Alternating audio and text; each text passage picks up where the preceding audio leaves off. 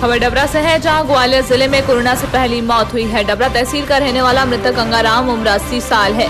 9 मई को सैंपल लेने के बाद मेडिकल कॉलेज में भर्ती कराया गया था। जाँच रिपोर्ट में मृतक आया, कोरोना पॉजिटिव। डबरा प्रशासन ने कॉलोनी को सैनिटाइज किया है। मृतक के निवास से एक किलोमीटर के दायरे में आने जाने पर रोक लगाई गई है।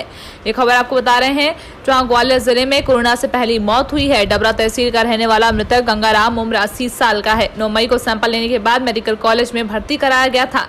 वहीं जाँच रिपोर्ट में मृतक कोरोना पॉजिटिव पाया गया।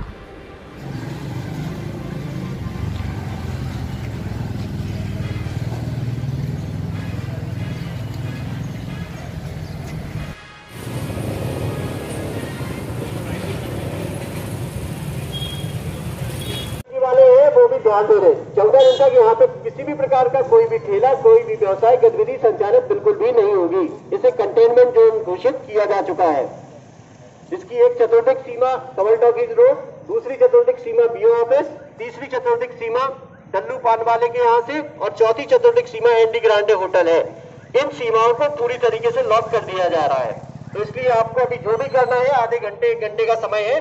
आप लोग तत्काल व्यवस्थित हो जाए और व्यवस्थित होके जो भी आपके यहाँ पे अगर बाहर का कोई व्यक्ति भी रुका है तो उसे आज ग्वालियर में 80 साल के बुज़ुर्ग डबरा के जो निवासी थे, उनकी डेथ हो गई है। उनको पहले से हाइपरटेंशन और हार्ट डिज़ीज़ और इस प्रकार से बीमार, शुगर, इस प्रकार से बीमारियाँ थीं और साथ में उन्हें कोरोना का संक्रमण भी पाया गया है। तो वो 9 तारीख को शाम को हमारे जीएच में भर्ती हुए थे और उसके बाद अगले ही दिन उनकी डेथ हो गई थी और बाद में आज उनकी कोरोना की जाँच रिपोर्ट पॉजिटिव पाई गई है।